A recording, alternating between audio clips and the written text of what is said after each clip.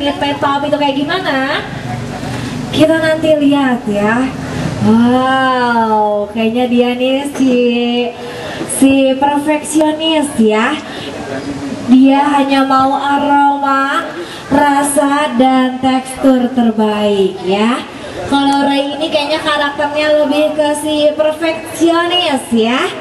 Waduh, menikmati banget kesegaran bulir-bulir buah asli Minute Maid Palpi ya. Kita nanti tanya-tanya sama